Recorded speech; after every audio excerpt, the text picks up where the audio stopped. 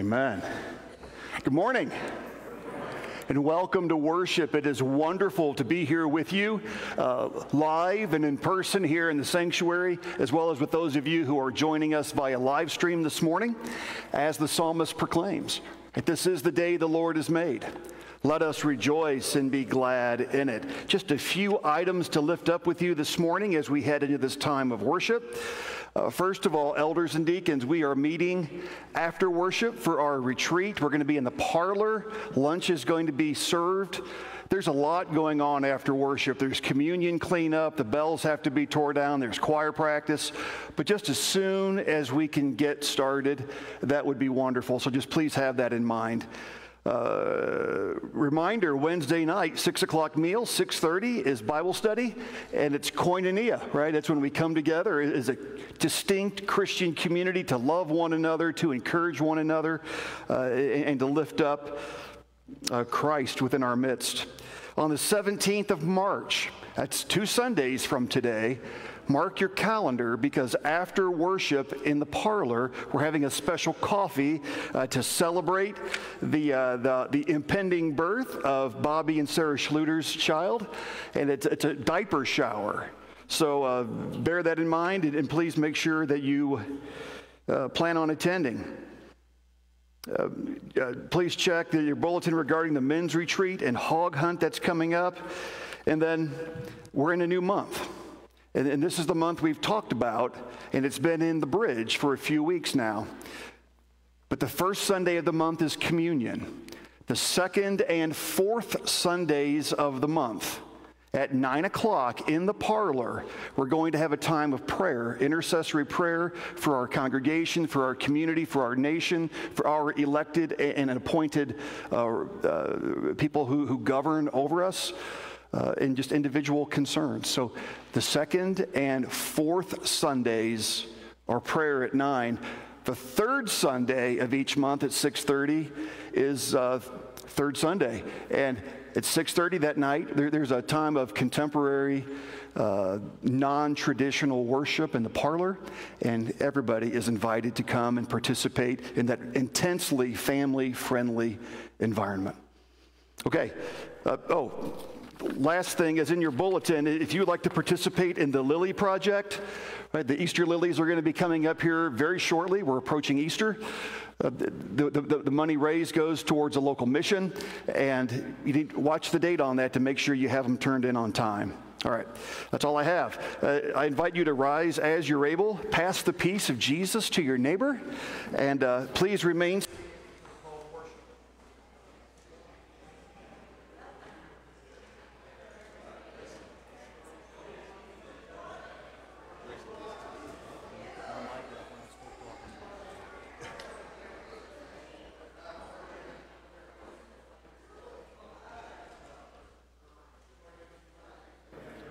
Good morning.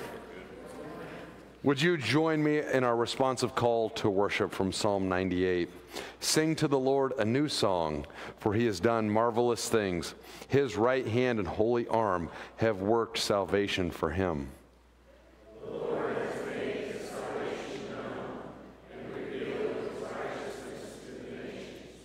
All the ends of the earth have seen the salvation of our God for joy to the Lord. All the earth burst into jubilant song with music. Make music to the Lord with the harp, with the harp and the sound of singing, with trumpets and the blast of the ram's horn. Shout for joy before the Lord, the King.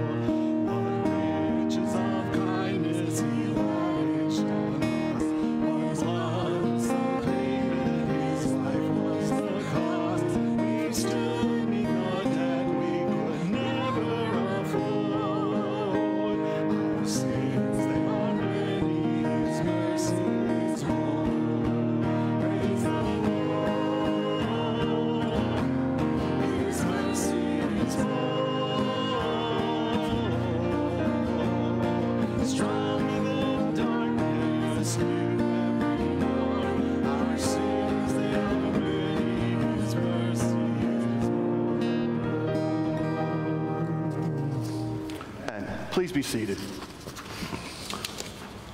This morning, following, following the sermon, we'll be coming to the table that's been prepared by the Lord Himself. And as we come to the table, we want to make sure that we do so in a biblically faithful manner. The Apostle Paul, writing to the church at Corinth on his second missionary journey, uh, gave them some very specific uh, instructions as to how to do so. And he writes in the 11th chapter Whoever therefore eats the bread and drinks the cup of the Lord in an unworthy manner will be guilty concerning the body and blood of the Lord. Let a person examine himself then, and so eat of the bread and drink of the cup. For anyone who eats and drinks without discerning the body eats and drinks judgment upon themselves. So this morning, I invite you to pray with me in the unison prayer of confession. We'll then enter into a time of, of quiet personal confession before, re, before receiving the assurance of pardon. Will you please pray with me? Almighty God, you love us, but we do not love you fully. You call, but we do not always listen. We often walk away from neighbors in need, wrapped in our own concerns. We often condone evil, hatred, warfare, and greed. God of grace, help us to admit our sin so that as you move toward us in mercy, we may repent, turn to you, and receive forgiveness through Jesus Christ, our Redeemer. Amen.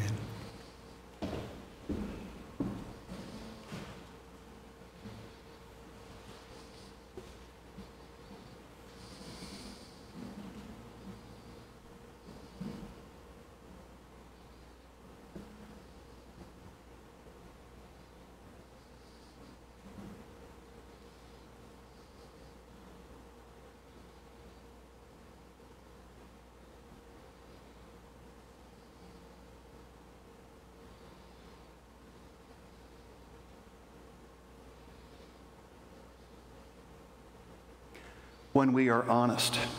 Right? Coming before the Lord in a spirit of confession with hearts that are contrite and truly sorry.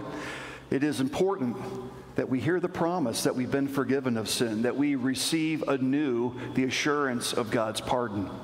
The prophet Joel lived hundreds of years before Jesus was born, and receiving an oracle, a vision from God, he writes, Even now declares the Lord, return to me with all of your heart with fasting and with weeping and with mourning. Rend your heart and not your garments. Return to the Lord your God, for he is gracious and he's compassionate, slow to anger and abounding in love, and he relents from sending calamity.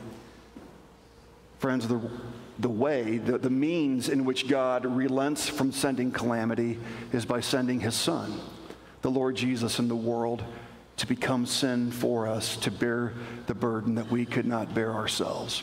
So this morning, on this beautiful late winter Sabbath day, may we remember fresh the promises that God makes to us in our baptisms as we celebrate that it is in Jesus that we're a forgiven people. Hallelujah. Amen. Please rise as you're able.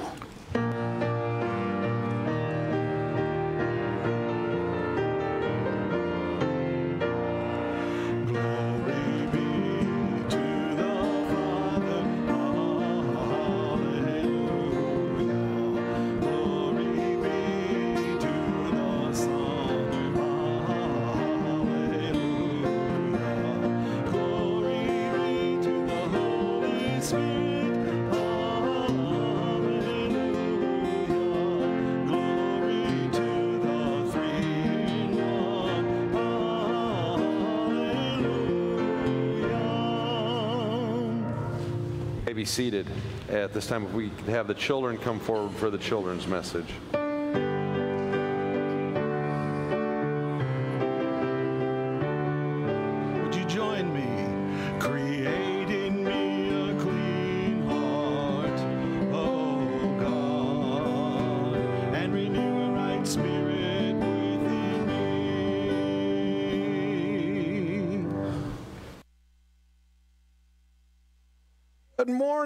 And girls. How are you guys today? Good. I am so glad you're here. All right. I, I lost something. Oh, it's right there. Bill's got it. Oh, here it is. All right. Let's see. Let's what's in here. All right, let's see what we got in here today. We've got one of these. All right. We've got one of these.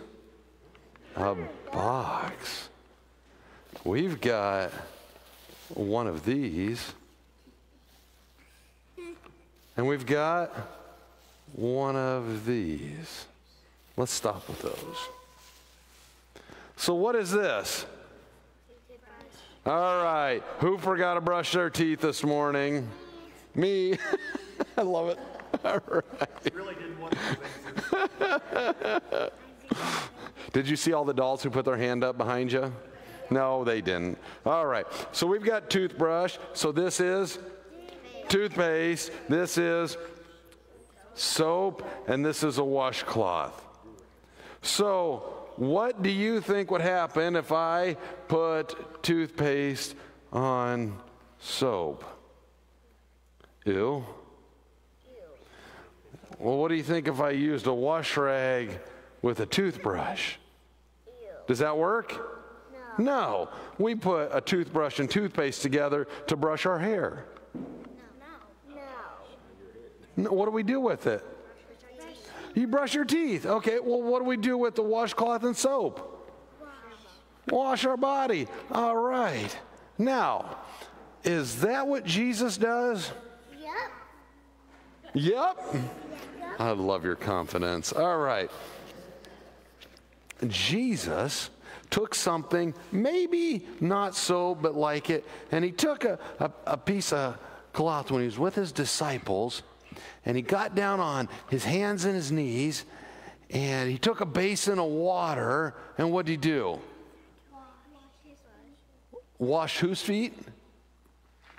Whose feet did he wash? The disciples' feet.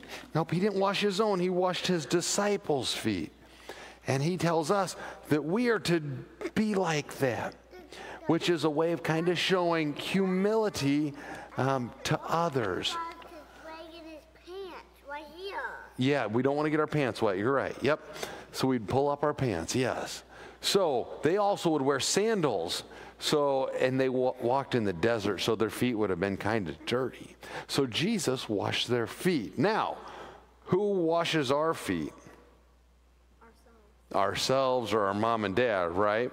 But we see in this picture right here, we've got Jesus washing his disciples' feet. Jesus is the one who who really does it all. So when we ask questions and we say, Who paid the price for us? The answer is Jesus. Who went to the cross?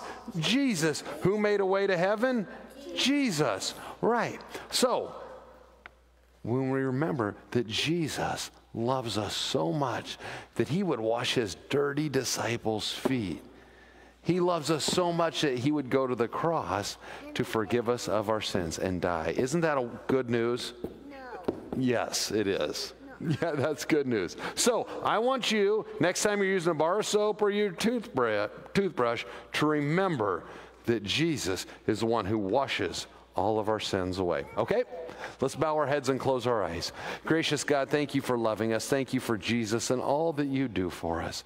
You have made it possible for us to be forgiven. When we don't deserve it and we couldn't earn it, you made a way. So, God, we say thank you. Thanks for loving us, and thank you for this time together. In Jesus' name we pray. Amen.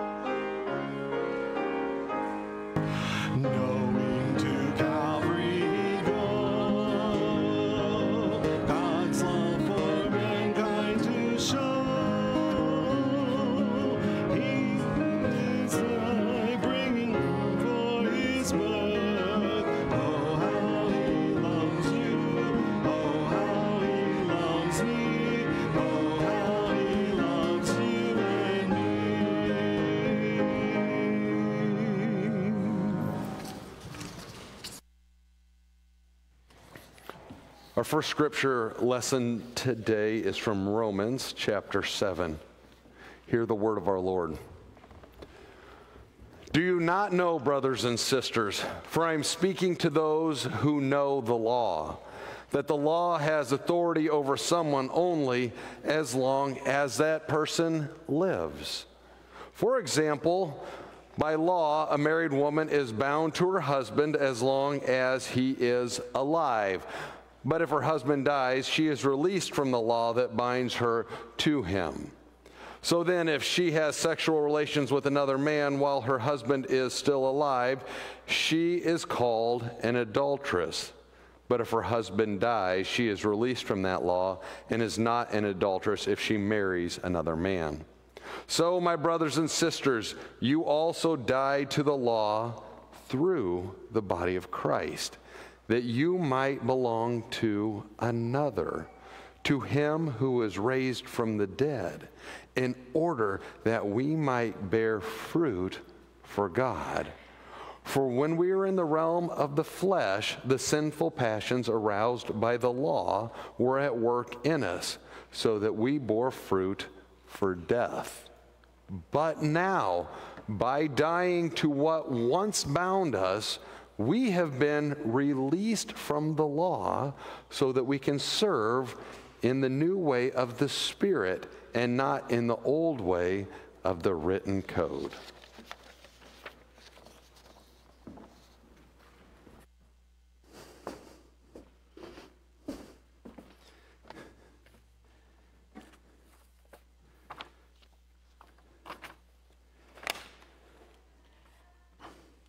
One night there was a Viking named Rudolph the Red and he was looking out the window of his home when he said to his wife, It is going to rain.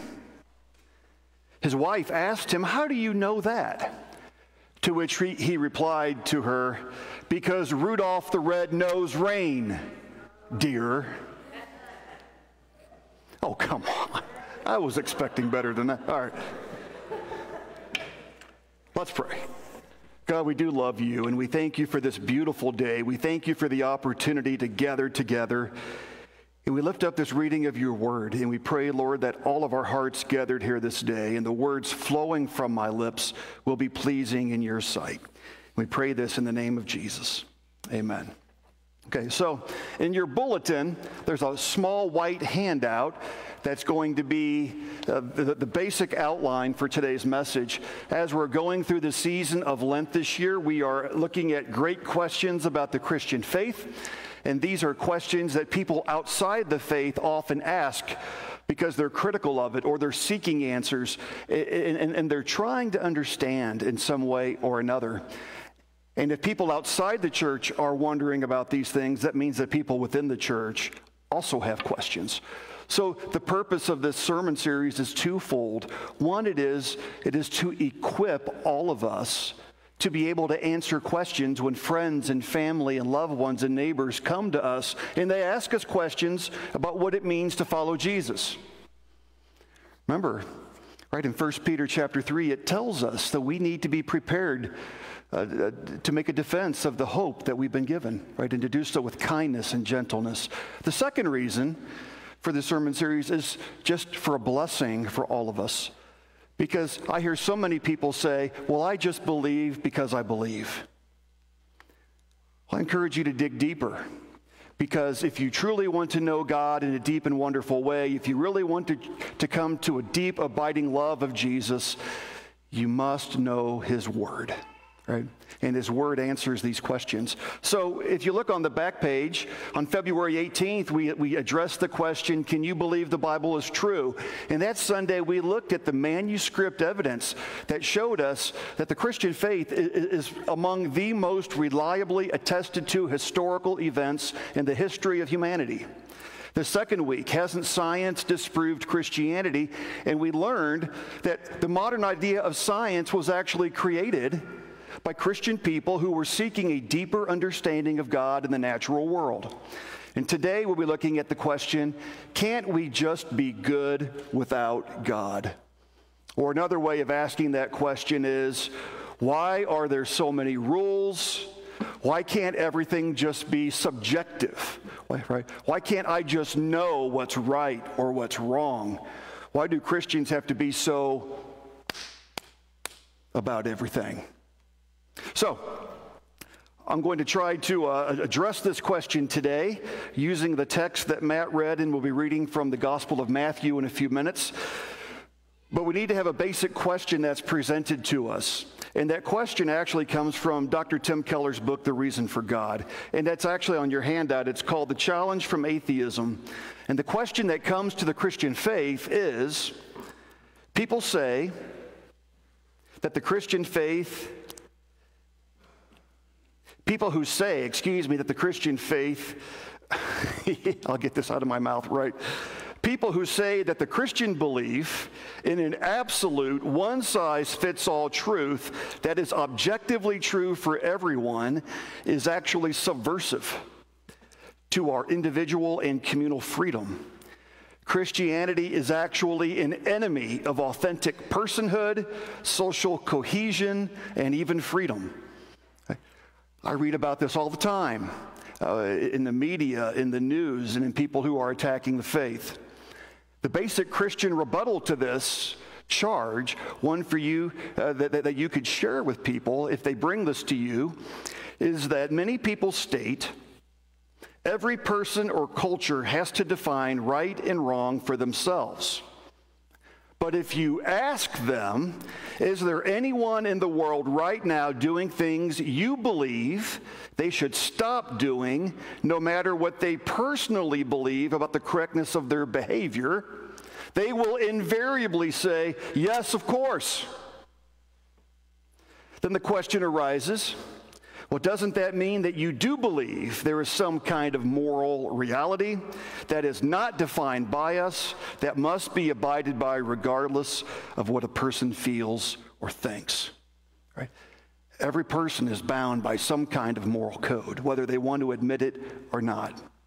For Christians, this moral understanding has been codified in God's law and has been fulfilled in the person of Jesus.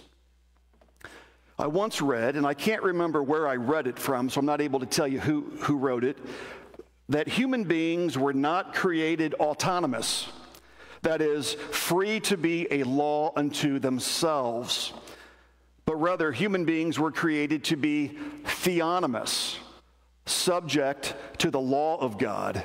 And this was not a hardship imposed upon humanity because God created humanity in such a way that grateful obedience would bring him the highest happiness. The law, which God reveal, the law of God reveals God's character. God is holy. God is merciful. God is just. And God is redemptive. God commands the behavior that pleases him and forbids that which offends him. In the New Testament, I'm sorry, in the Old Testament books of Exodus, Leviticus, Numbers, and Deuteronomy, we read about God giving his law to Moses, who then revealed it to God's people in the wilderness of Sinai during their 40 years of sojourning in the wilderness. Jewish rabbinic scholars uh, over many years cultivated a, a, commentary on Scripture known as the Talmud. Maybe you've heard of the Talmud before. It is sacred Jew, Jewish theological text uh, regarding the interpretation of God's law. And the Talmud says, and we talked about this Wednesday night actually, there are 613 Old Testament laws that must be followed perfectly. There are some Christian groups that have gone back and actually found 630 laws. Now, I don't know about you, but the difference in 613 and 630 is minimal, right? It's both too many and impossible for us all to follow. Now, the law of God has historically been divided into three different categories, and this is known as the threefold purpose of the law. There's the moral, there's the judicial and political, and there's the ritual. So if you look on your handout, it says, What is the law of God? and there is the ritual, cultic, ceremonial, and I, and I forgot to put in there the political and judicial, but that also should be on there. Uh, So, as we read through the Old Testament, we encounter all three of these the moral law, the judicial or political law, and the ritual law. The judicial law uh, applied to Israel when she was a particular nation within a particular time in history. Right? She was founded, uh, the, the, the, nation of Israel was, was founded uh, by, by, by God calling his people together, the 12 tribes of Jacob, and she held together through a loose confederation of tribal.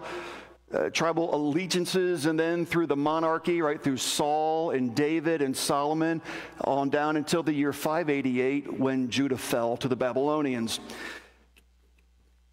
When the nation fell, Right? Those laws no longer applied to God's people because they were no longer a state. And these laws consisted primarily of personal injury and protection of property. There's all kinds of laws. If you, if you kill a man's ox, if you harm a man's slave, if you do this, if you do that, then do this. The ritual, the, the, the, second one, the ritual or the cultic or the ceremonial law revealed what God desired regarding purity, diet, and temple sacrifice. They were canceled out or they were fulfilled in the New Testament because their symbolic meaning had been fulfilled by the life, the death, and the resurrection of Jesus from the dead. Or put another way, the, the, the, temple ceremonies and sacrificial practices that pointed towards the coming Messiah, the coming Savior of God, are no longer applicable because Jesus has fulfilled all of those expectations. And that leaves us the moral law. And the moral law is abundantly set forth within the Ten Commandments, sermons by the prophets and the teachings of Jesus himself, along with the letters of Paul and Peter in the New Testament. The moral law is understood to be very much enforced to this day, while the political and ritual laws are understood to have been fulfilled and are no longer in force today. So, one of the arguments I hear people saying regularly is to the effect of, oh my gosh, you know, you break God's law all the time, you Christians, because you're wearing the wrong color or, or the wrong type of fabrics on your body, or you're eating this food or that food. Friends, those laws are no longer in effect. They've been fulfilled by Jesus. But what we are bound by is that moral code expounded by the Ten Commandments, by the prophets, and by Jesus himself. Uh, the moral law has three uh, purposes, and those purposes here I have on your sheet under moral law. The first purpose of the law Right, is that it acts as a mirror when we look at it, and it reflects the perfect righteousness of God. And when we look at God's perfect righteousness and it's reflected back on us, it reveals our own sinfulness, our own brokenness, our own shortcomings.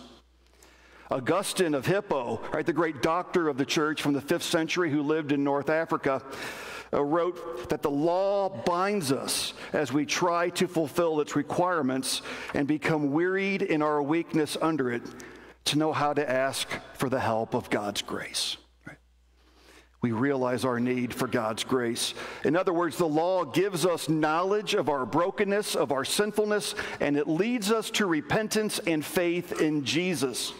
It reveals our desperate need for somebody to save us from ourselves. The second function of the law is its civil purpose, it restrains evil. That is, when we think of restraining evil within our culture, within our society, we look to civil laws. And most civil laws within cultures that have been impacted by the gospel in some way, shape, or form over the last 2,000 years are grounded in the Ten Commandments. So, regardless if you're living in a Muslim controlled land, right, or if you're, you're across Europe, which is no longer a majority continent, majority people continent, or across North America, or even to countries like Korea, when you look at their civil codes, the laws that keep people living in peace with one another, they are rooted in the moral law of God. Then the third function of the law is to guide believers into the good works that God has planned for them.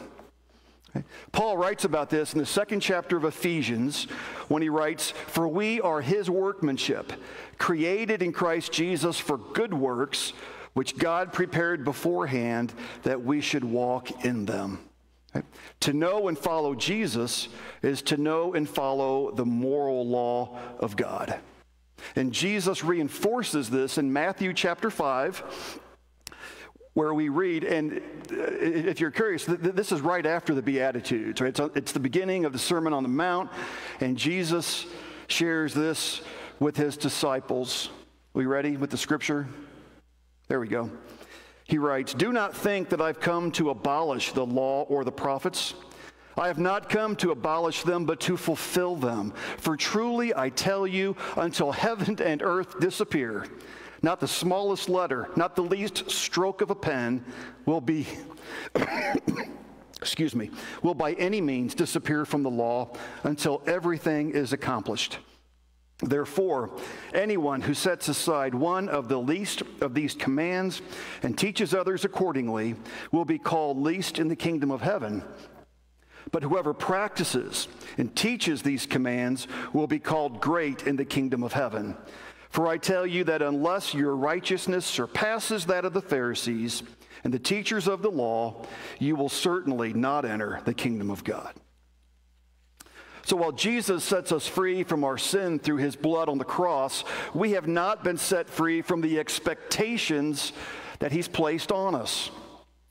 In Matthew 28, in the Great Commission, Jesus tells his followers to do all that he has commanded them. In John 14, Jesus states that obedience to his commands proves the reality of a person's love for him. Right? So when we follow the law, this is the third purpose of the law. When we follow the law, we are doing something that pleases God. Do you have a desire to please the one who has saved you? Do your best, not out of some sense of, of litigation or, or, or a rote responsibility that you have to follow the laws, but try to follow God's law because of all that God has done for you. Do so joyfully, right? Joyfully. So, what is the purpose of the law today? Where does it sit with us? To understand the place of the law in our lives today, we could turn to a number of the Apostle Paul's letters for teaching. But I would like for us this morning to look at a pericope from Romans 7 that Matt read for us just a few minutes ago. You know, Romans is widely considered Paul's magnum opus, written to the early believers in Rome during his second missionary journey while he was staying in the city of Corinth. And the importance of this letter cannot be easily overlooked.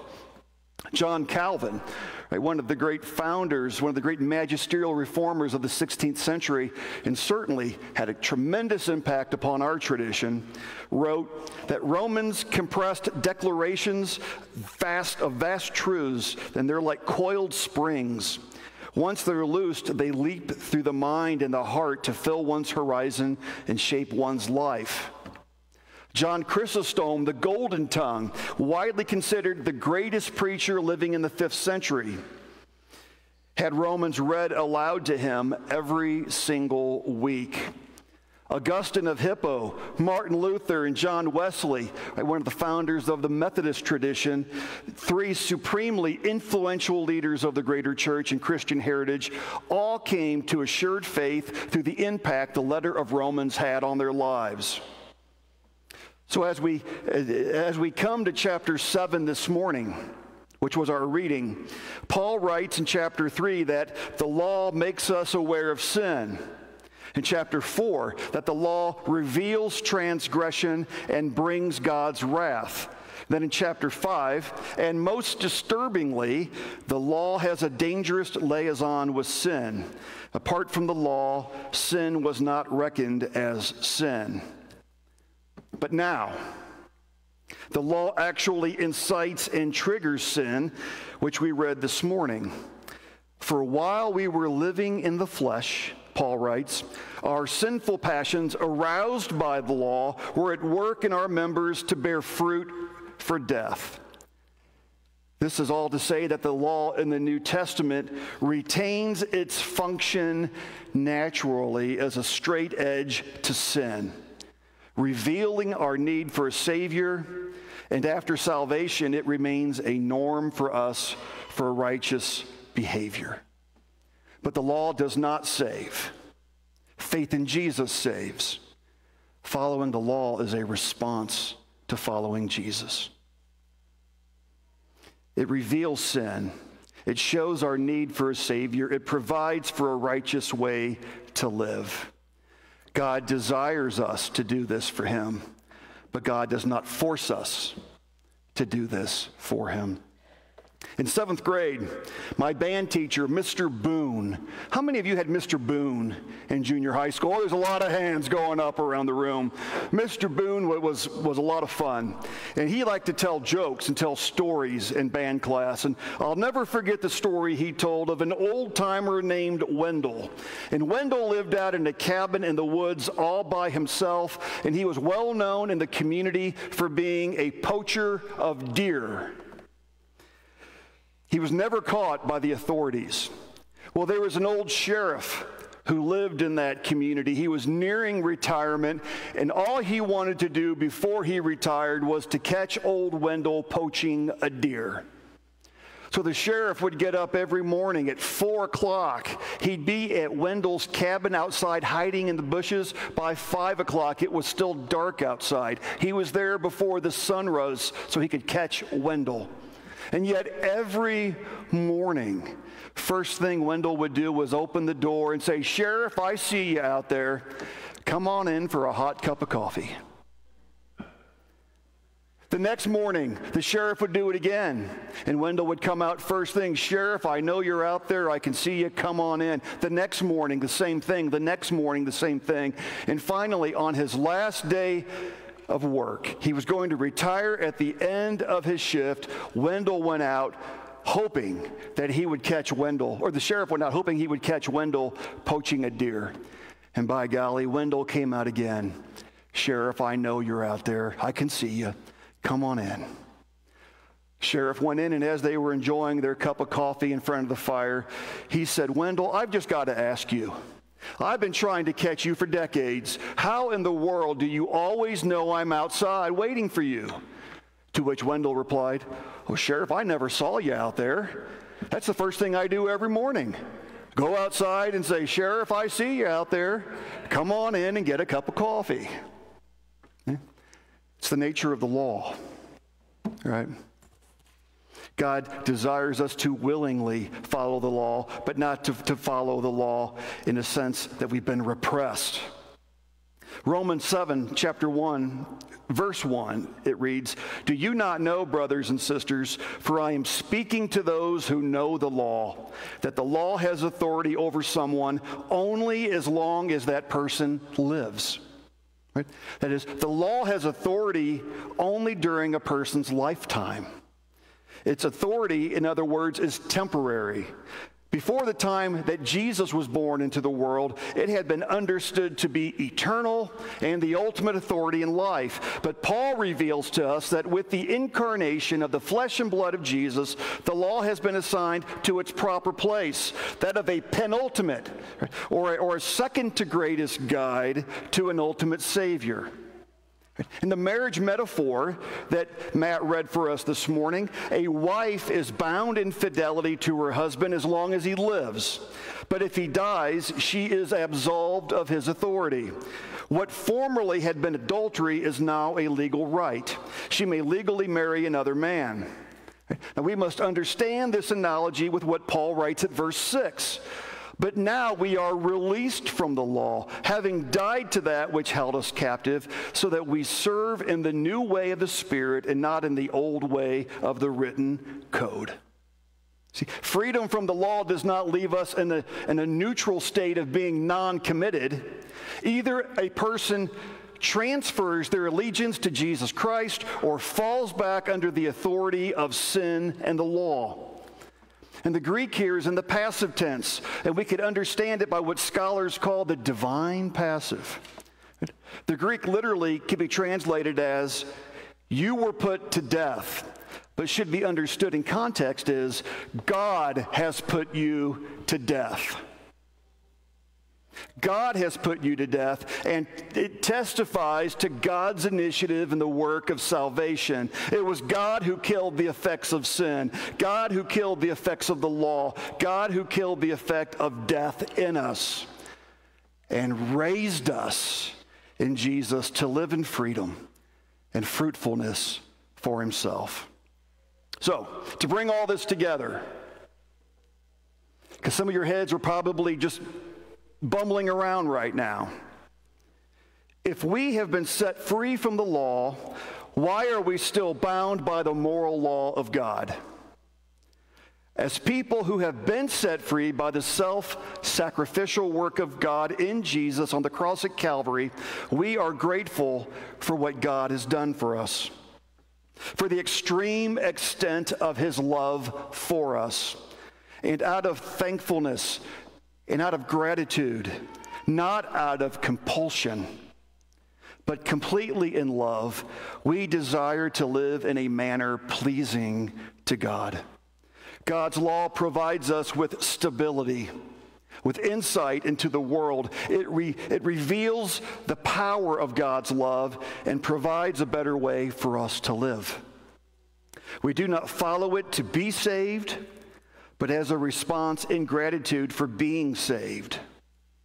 Following God's law sets us free to live better lives for ourselves, for our neighbors, and most importantly, for God. A musician, a musician binds him or herself to their craft through rigorous practice. That's the law. And this enables them to excel when they play in concert. That's grace. That's the love of God for those who love Him. It is good to have order in our lives in a world that is living in disorder. Let us now turn our attention to this table that has been set before us. This is a table of perfect order is prepared by the Father through the work of the Son and bathed in the Spirit, giving us a small foretaste of the great banquet to come when we enter into glory. So I invite you, if you are able, to please rise at this time as we confess the faith of the church through the Apostles' Creed. I believe in God the Father Almighty, maker of heaven and earth. I believe in Jesus Christ, his only Son, our Lord, who was conceived by the Holy Spirit, born of the Virgin Mary, suffered under Pontius Pilate, was crucified, dead, and buried. He descended into hell. The third day he rose from the dead. He ascended into heaven and sits at the right hand of God the Father Almighty. From thence he shall come to judge the quick and the dead. I believe in the Holy Spirit, the holy Catholic Church, the communion of saints, the forgiveness of sins, the resurrection of the body, and the life everlasting.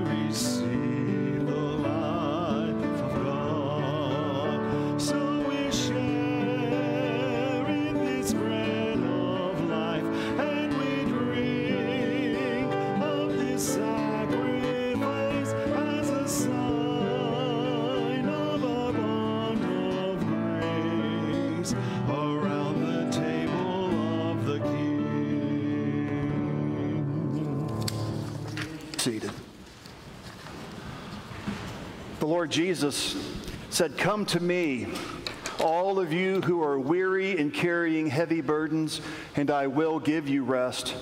Take my yoke upon you and learn from me, for I am gentle and humble in heart, and you will find rest for your souls. The Lord also said, Whoever eats my flesh and drinks my blood has eternal life, and I will raise them up at the last day. For my flesh is real food, and my blood is real drink. Whoever eats my flesh and drinks my blood remains in me, and I in them. Within our tradition, we understand this to be that, spirit, that Jesus is spiritually present within the bread and within the cup. As we come to the table, will you please pray with me? It is truly right and our greatest joy to give you thanks and praise, O Lord our God, creator and ruler of the universe. You established your people to be a light for the nations and called us to walk in your paths, to follow your ways. Even now you are coming to bring justice and peace to the world. Therefore, we praise you, joining our voices with choirs of angels, with prophets, apostles, and martyrs, and with all the faithful of every time and place who forever sing to the glory of your name. Holy, holy, holy Lord, God of power and might, heaven and earth are full of your glory. Hosanna in the highest. Blessed is he who comes in the name of the Lord. Despite our brokenness and our sinfulness, you did not break your covenant promises to us.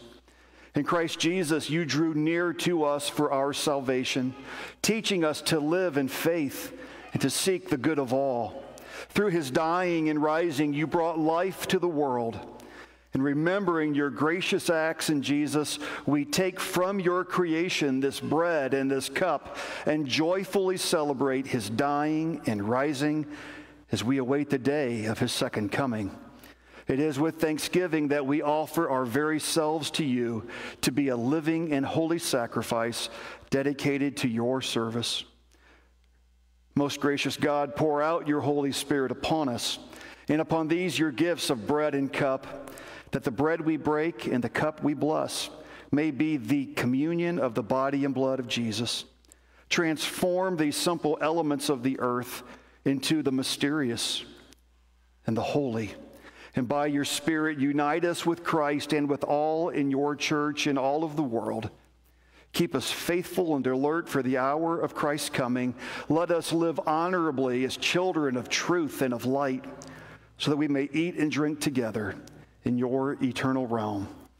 Through Christ, with Christ, in Christ, in the unity of the Holy Spirit, all glory and honor are yours, Almighty God, now and forever.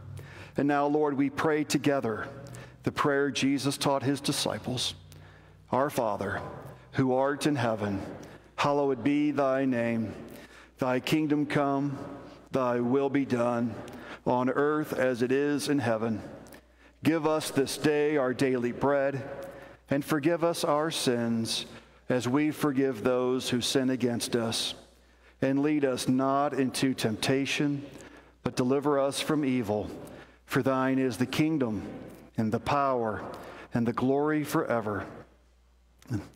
In the letter that Paul wrote to the Corinthians, he goes on to say, For I received from the Lord that which I pass on to you that on the night in which Jesus was betrayed, he took a loaf of bread, and after giving thanks to his heavenly Father, he broke the loaf, saying, This is my body, which is broken for you. Do this in remembrance of me. In a like manner, after supper, he took the cup and said, This cup represents the new covenant, the new promise sealed in my blood for the remission of sin. Do this as often as you will in remembrance of me. For as often as you eat of this bread and you drink from this cup, you proclaim the death of the Lord until he comes again. Amen. Could we have the uh, forward, please?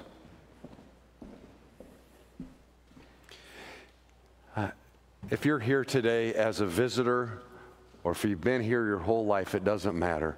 If you believe in Jesus, if you love Jesus, if you have received Jesus as your Lord and Savior, you are invited to come and to partake in His Holy Supper. The table is prepared. We would invite sections one and two to come over here, section one first, and then section three and section four to come over here, starting with section three.